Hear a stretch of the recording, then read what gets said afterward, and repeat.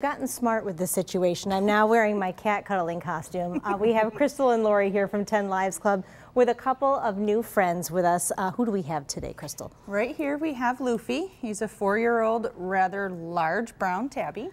He does have a brother, Buzz. Um, they do have to go together. They are both adoptable currently at the main shelter.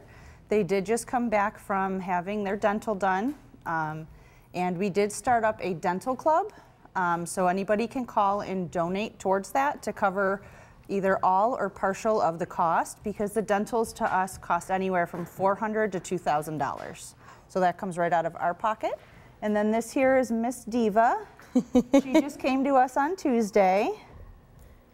And she is nine months old. She's oh my a little goodness. shy. They are both so sweet. Um, and I know that you guys, you've got some more events that are coming up that you wanted to let us know about this week as well that help uh, support all the animals. We do. Shelter. So on the 30th of this month is the last day for the um, rescue of Resurgence, where mm -hmm. you mm-hmm. can get the picture of your animal on a can. Um, we also have kitty games coming up on Sunday at the Woodlawn Fire Hall. It's pretty much bingo with a twist.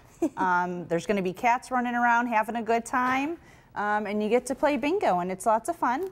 And then we also have our chicken parm dinner coming up on May 13th. So we can find all of those events online and on our Facebook page.